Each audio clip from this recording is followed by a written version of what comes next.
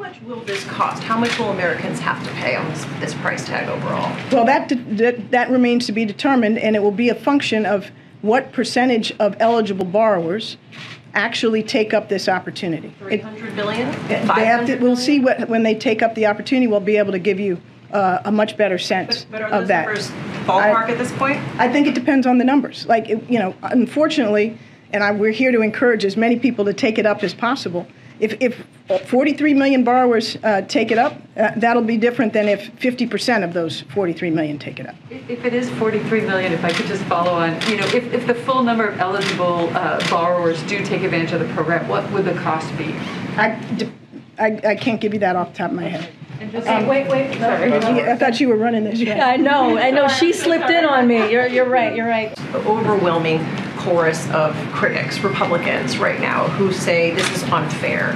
That there are people who decided to not go to college because they couldn't pay for it. There are people who decided to join the armed forces in lieu of going to college because they couldn't pay for it. And this leaves them behind. Is there inaccuracy in any of that? Yes, there is inaccuracy, that, but there's also a double standard. And this is a debate we are happy to have. This relief will be targeted to those who need it most. As I said, 90% of those who will benefit earn less than $75,000 a year. So this is not a giveaway to rich people. This is not uh, any of the things that uh, Republican critics have charged. Yes, those who have paid their loans back um, deserve uh, to, to be credited. That's fantastic. That's to their uh, to their credit. Ever. And numerous experts affirm that restarting paused loan repayments at around the same time as we provide targeted debt relief will not have any meaningful effect on inflation. You will pay for it one way or another. national debt goes up, this is going to make it go up. We're not even going after our debt. I pay for my student loan, and everyone else should pay for theirs too. Is there a worry that colleges will not now be incentivized to simply raise tuition rates? More students will be able to afford the higher cost because the, the maximum will be will be capped. And, and just one last thing is Wait just, a minute. Wait, wait hold okay. on. Give me, Fair. do me. Uh, see, now you've already made me forget the first one. The first, the first question about costs of colleges.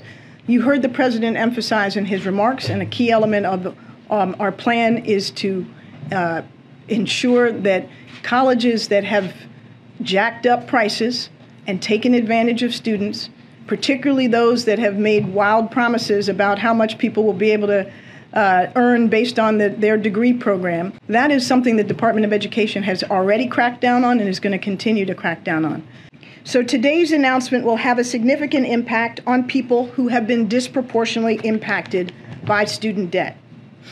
Nearly two thirds of individuals, all debtors, will have half or more of their total debt wiped out, including the 20 million borrowers who will have their debt completely eliminated.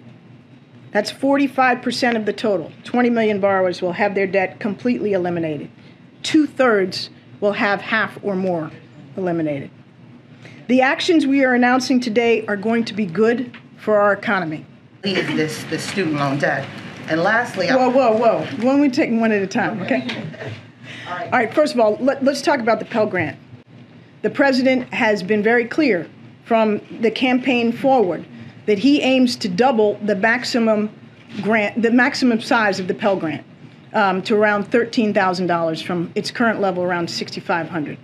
He has in his budget requests asked for incremental increases to get to that doubling, and his FY23 budget request does that as well. In the FY2 of 22 appropriation uh, enacted, uh, $400 uh, was uh, added to the maximum size of the Pell Grant, which, as I said in my remarks, is the largest increase in the decade. One last question: Is is it possible for somebody to go out today and apply for a college loan, knowing that it's that it's going to be canceled, or No. is there what what is the date by which somebody had You to? had to, your, the loans that are eligible for relief um, were those that were um, uh, up until June 30th Yeah, end of June. of this year. June 30th of this year. would be the 2022. deadline.